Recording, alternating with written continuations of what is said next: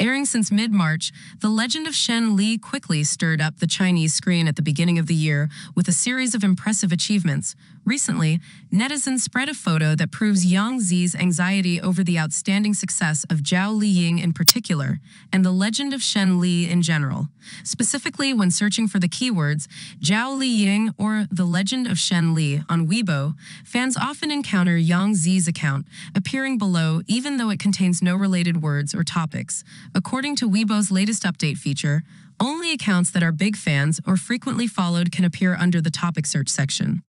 This unintentionally shows that Yang Zi often searches for information and videos related to the legend of Shen Li or Zhao Liying.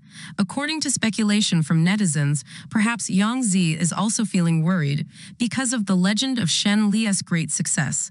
It is known that this is one of the films that brought a lot of media success as well as profit to Tencent Video, even though it only ended in the first quarter of 2024. In the near future, the drama Best Choice Ever starring Yang Zi and Shu Will also air on this platform.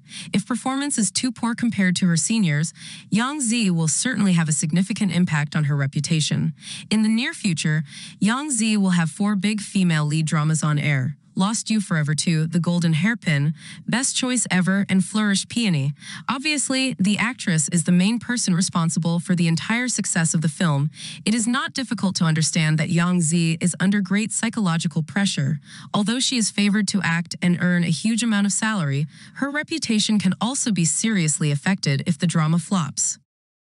Thank you for watching our video. Don't forget to subscribe to our channel and hit the like and share buttons to update the latest news of the day.